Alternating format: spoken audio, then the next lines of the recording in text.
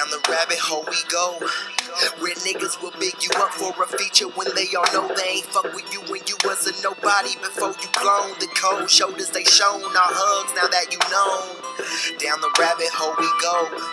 With hoes, you know we'll call you out the blue, asking how are you and telling you that you want to come over when you are open. Knowing last time they saw you, not a single word was spoken, but down the rabbit hole we go.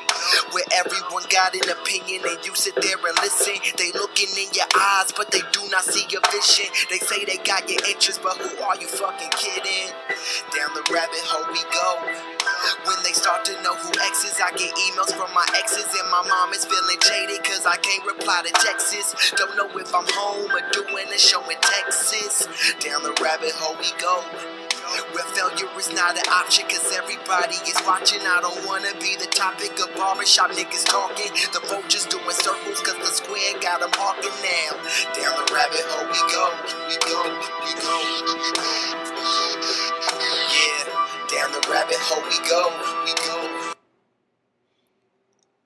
so I don't know if it's gonna do that weird thing where it doesn't record.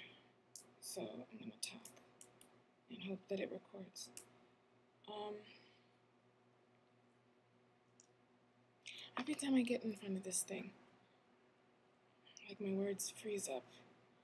And when I'm at the gym or just walking, they my thoughts attack me, just all of a sudden. I just wish I could control it, maybe, but um, I think like I'm here, I'm recording this because of everything that's just hitting me.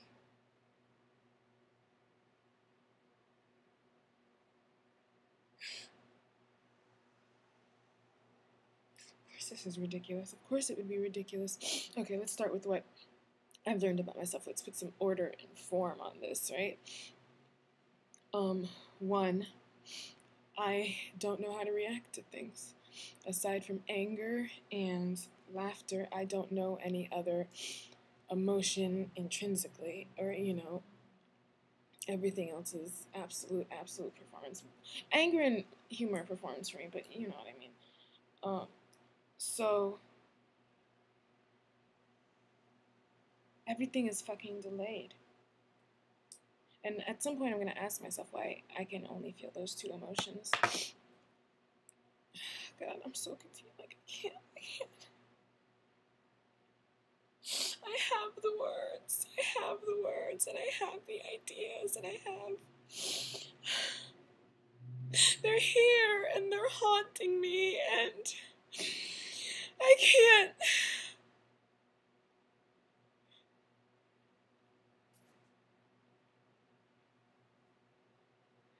I can't find the words. I can't find the order. I can't find the logic. All I have is just a bunch of fucking details. A bunch of fucking details. And. I can weave them into a narrative, a coherent one in my head, or a series of coherent narratives. You know, I can come up with, I can posit explanations, but when it actually comes down to sitting here, sitting here and recording something substantive, I can't do it, and I can't write it, and I can't. Because I'm fucking plagued by I guess, see, and as soon as I try to get into this issue of form and intelligibility and how what I say is how I say it, you know, I know that what I say is how I say it. And I don't think I have the power, the lexicon, the vocabulary to say things the way they need to be said in order to be understood. And is that is that something tough to admit? That we only understand by these frames of intelligibility that what's going on in my mind right now makes sense to me because I'm I'm an encyclopedia of myself. You know, I'm I'm a set of references, you know? So of course what's going on in here is perfectly logical. Of course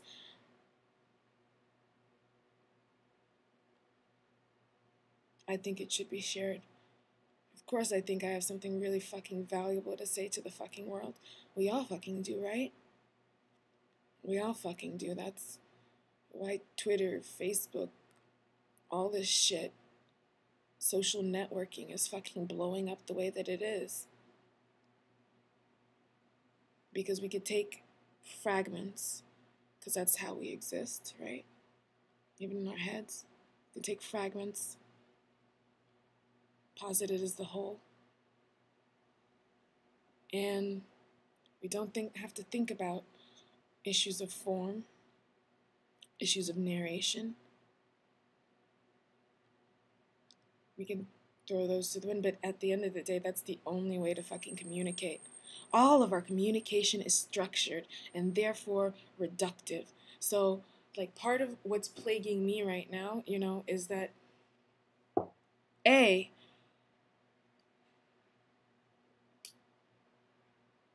it's like a recognizing that I live in this state of dissonance. That how I feel is never fucking tied to my external reality. It's never fucking tied to my external reality. I, I live everything into it. So, like, to be less fucking abstract, the thing with Haiti happens. I get a text message from my friend Angie um, telling me that there was an earthquake. Um, and I immediately think, you know what? My dad's going to be fine. My dad's going to be fine because my dad lives in Haiti. I just had a sense that he was going to be fine. And he was. And then I was fine. I was absolutely fine. Well, not really. Not really. I was fine. Meaning I'd come to Providence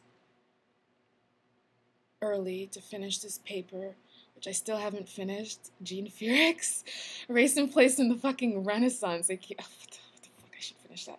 But anyways, I'd come back to Providence early to finish this paper, and I hear about this quake and I don't react.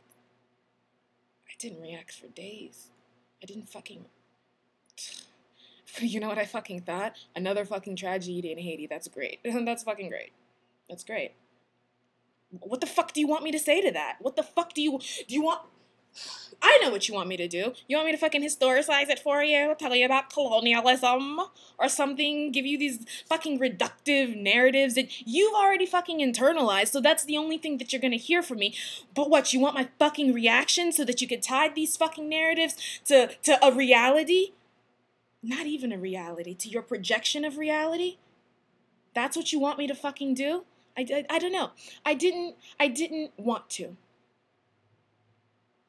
I didn't fucking want to because who the fuck cares about those 230,000 fucking dead people? You don't. I didn't. I wonder if I do now. I wonder if I do now. You know why I started to care about them? You know how I got myself to care about them? I went onto fucking time and I started looking at disgusting fucking pictures of people's faces being fucking demolished. That's how I fucking started to care about Haiti. That's the only way I knew how to care about Haiti. So I do that. I synthesize my own fucking breakdown because I felt it was fucking necessary. I'm sitting there in the shower, just waiting for it, just waiting for it, just waiting for it, just waiting for it, and it happens. And I feel. And that was the last time I cried about Haiti. And six months later, all I can do is cry.